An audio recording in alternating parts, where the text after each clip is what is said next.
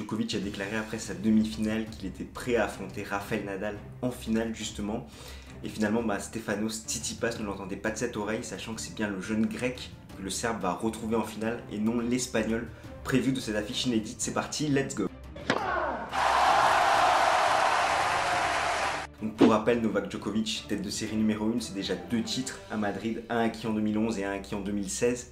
Pour se hisser en finale, il a dû s'imposer contre Fritz Chardy, il a profité du forfait de Marin Silic et il a vaincu Tim en 2-7 en demi-finale. Il a passé 4h57 sur les cours et il a concédé 0-7. Son match référence reste celui contre Dominique Thiem où il s'impose en deux tie-break 7-6, 7-6. Même si finalement le choc annoncé n'a pas vraiment été un véritable choc, la faute à un Dominique Thiem qui a été beaucoup trop inconstant. Il a fait la pluie et le beau temps, il était beaucoup trop loin de sa ligne, il manquait un petit peu de puissance, il avait du mal à faire reculer le CA. Peut-être que physiquement, bah, ça commençait un petit peu à tirer avec ce gros match contre Roger Federer. Il a manqué de lucidité, sachant qu'il a converti seulement 3 des 10 opportunités de break qu'il a obtenues. Beaucoup trop inconstant, avec énormément de fautes, tout l'inverse de Novak Djokovic, qui a été très lucide. 3 balles de break obtenues, 3 balles de break converties. Il s'est montré beaucoup plus patient, beaucoup plus constant dans l'échange.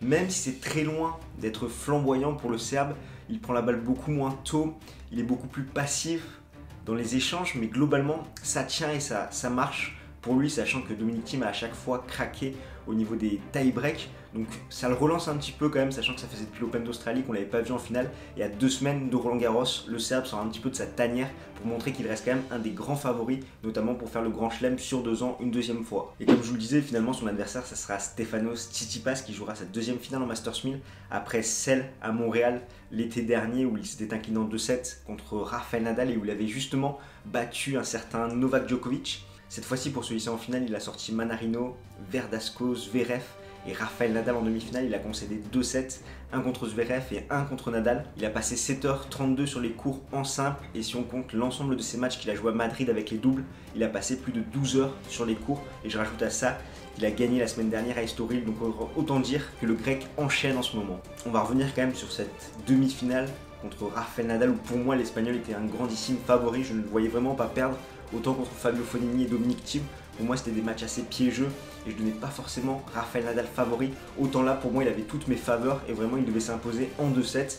Et finalement, bah, Tsitsipas a fait sa loi un petit peu en étant très impressionnant, très solide. Il s'impose en 3-7 contre l'Espagnol, sa première victoire contre Rafael Nadal. Nadal qui est apparu vraiment tendu dans le premier set, le connaissant très anxieux.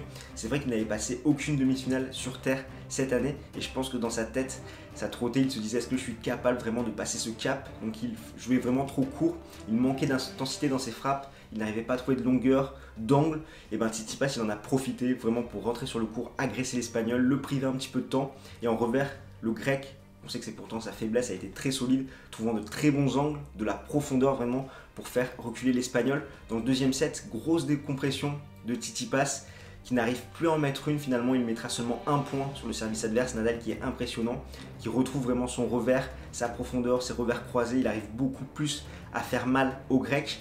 Et le troisième set, on se dit voilà, c'est une formalité pour, euh, pour Nadal. Titi Pass va s'effondrer physiquement. Et non, Nadal commence un petit peu plus à se tendre sur ses jeux de service, ça devient plus serré, il n'arrive pas à convertir ses balles de break qu'il obtient. Et derrière, c'est Tsitsipas qui en profite, se montant vraiment très agressif sur la relance et beaucoup plus lucide finalement que le Mallorca. Alors oui, Nadal n'égalera pas le 0 sur 12 de Roger Federer à l'Open d'Australie contre Tsitsipas, mais là il a quand même un ratio de 5 balles de break converties pour 16 obtenues. Et pourtant, Tsitsipas n'aura gagné que 57% des points derrière sa première balle et 42% derrière sa seconde balle. Donc autant dire qu'il y avait quand même un petit peu de place. C'est vrai que l'Espagnol a manqué de lucidité, de constance sur certains choix et ça a clairement payé. On voit vraiment qu'il est en berne au niveau de sa confiance, que là ça commence un petit peu à faire mal après des déconvenus à Monte Carlo, à Barcelone. Encore une fois une déconvenue en demi-finale. Ça commence à être compliqué malgré ses bonnes performances en début de semaine et son excellente performance contre Wawrinka. Là je trouve qu'il a vraiment fait un petit peu un pas en arrière à voir ce que ça va donner à Rome et encore plus à voir ce que ça va donner à Roland Garros. Mais c'est vrai que ça commence à devenir inquiétant parce que pour moi c'est vraiment une véritable claque cette défaite en demi-finale. En tout cas, bravo à Tsitsipas qui confirme et qui enchaîne après ses bonnes performances récentes. Au niveau des confrontations, Tsitsipas mène 1-0 contre Novak Djokovic, comme je vous le disais, c'était l'été dernier à l'Open du Canada qu'il s'était imposé en 3-7 contre le Serbe. Comme d'habitude, je vous affiche les stats détaillées. Djokovic a fait parler sa lucidité, s'est montré très bon dans les moments importants. Petite faiblesse au niveau de sa seconde balle. Et Tsitsipas, quant à lui, bah, c'est au niveau de sa première balle qu'il performe, il a un haut pourcentage de réussite derrière. Par contre, seulement 46% de points marqués derrière sa seconde balle, c'est beaucoup trop insuffisant, notamment contre un relanceur de la trompe de Djokovic. Au niveau des clés tactiques, je pense que dans la tête de Djokovic, il s'attendait vraiment à affronter Nadal, donc il se préparait mentalement pour affronter l'Espagnol, d'autant plus qu'il sait qu'il a un avantage psychologique sur le Mallorquin. Et là, le fait que ça soit Tsitsipas en finale, je pense que ça change un peu ses plans et que ça peut faire comme ça avait fait à Bercy où il avait affronté Kachanov et il s'était incliné en 2-7, au Masters de Londres où il avait perdu contre Alexander Zverev en finale en 2-7, à voir s'il retrouve sa motivation, cette envie de gagner. Mais je pense qu'il ira chercher son 33e titre en Masters 1000, d'autant plus pour montrer qu'il reste quand même un favori pour Roland Garros.